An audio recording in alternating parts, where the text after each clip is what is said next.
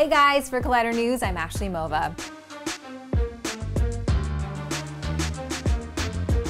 One of Disney's most successful and beloved animated fairy tales is coming to the big screen in live action form in March. Emma Watson and Dan Stevens lead Beauty and the Beast as the title characters, and they're front and center on the cover for the latest edition of Entertainment Weekly. On top of that, Disney also released a number of new images from the movie, showing off some of the set, costume, and CG work. Perri, what do you think of the latest look at the film? Thanks, Ashley. I think I'm liking them at this point. It's definitely going to take a little time to get used to seeing live action versions of the classic Disney animated characters, but the design and the production value of these images are through the roof.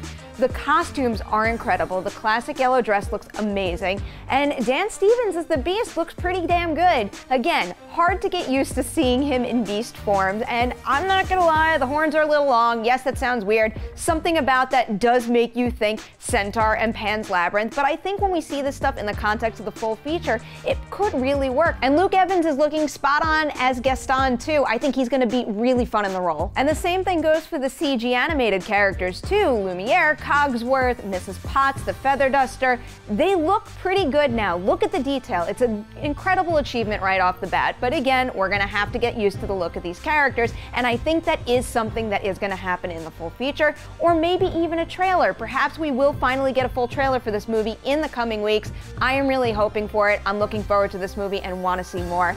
Ashley, back to you. For all of the latest on Beauty and the Beast as we make our way towards its March 2017 debut, head on over to Collider.com and be sure to subscribe to the Collider Videos YouTube channel to keep up with all the must-know movie news.